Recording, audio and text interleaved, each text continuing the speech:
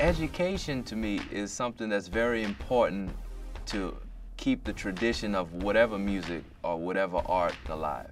My name is Jonathan Batiste, and I'm a musician, educator, and humanitarian. I started music when I was about eight or nine on the drums. My mother said, you should play the piano. So I switched to piano and it clicked from there. I went to New York, to Juilliard, and that was a shift because obviously New Orleans to New York is a culture shock. but also just the approach to music and classical music and the conservatory environment. The people that have influenced me the most are the artists who manage to make their music align with the intent of their life. Someone that exemplifies that is Jelly Roll Morton, Louis Armstrong, and Ray Charles. There's so many great ones.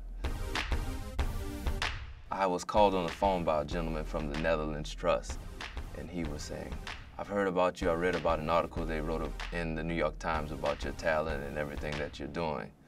And I'd like to invite you to perform as a special guest for Princess Christina from the Netherlands at Carnegie Hall. Just one song, and you represent New Orleans, and it'll be a cultural exchange. And from then, a lot of things happened for me.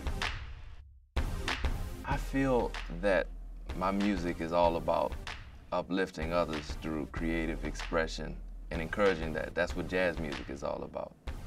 So what I want to do is uplift other people and also encourage people to tap into the creative spirit that they have within themselves.